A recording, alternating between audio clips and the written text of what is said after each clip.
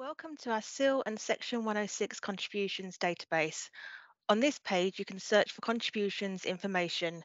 You can view data in relation to a Maidstone parish or ward and find out how much income has been received and how much income has been spent.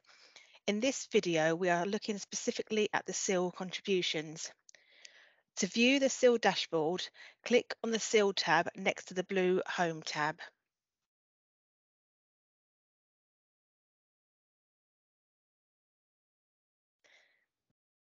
This will bring up to the Community Infrastructure Levy dashboard.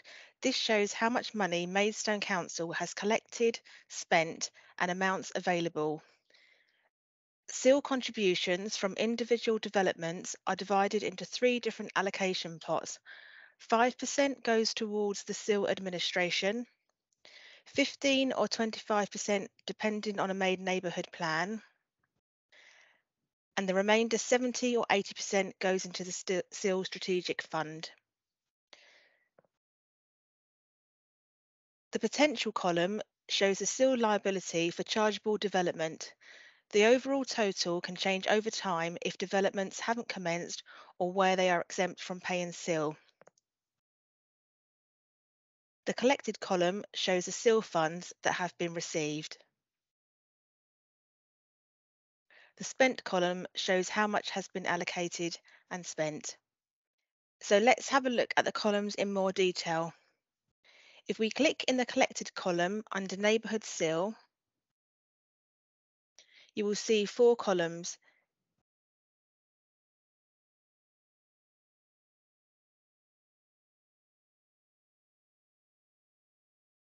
The first column identifies the development application number the Neighbourhood Zone column identifies the, the development, ward or parish area.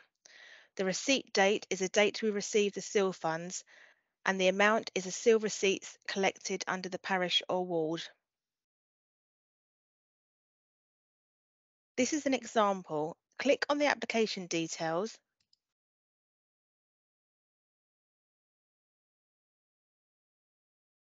This will bring up the application site details and description of development.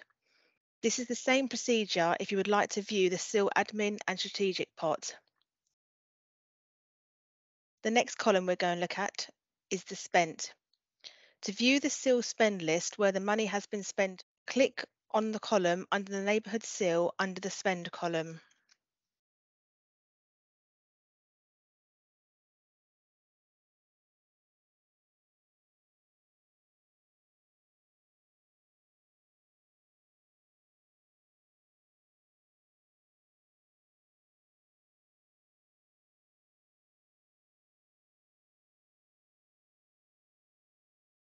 This will bring up a list of projects spent on the neighbourhood parish council. If you hover over the description, this will give information as to what the money has been spent on. Now that we have gone through what each of the columns mean, let's look at filtering individual parish or wards.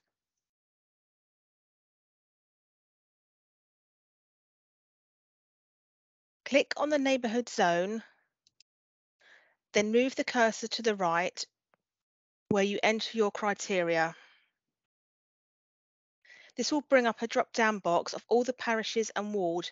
Click on the parish or ward you wish to view and then this will bring up the dashboard for that particular area.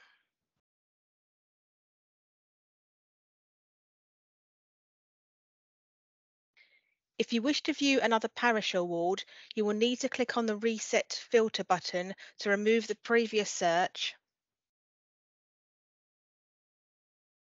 And then you can follow the same process by clicking on the neighbourhood zone and then selecting the parish or ward you wish to view. If you need any further guidance, please contact the CIL team at cil at maidstone.gov.uk.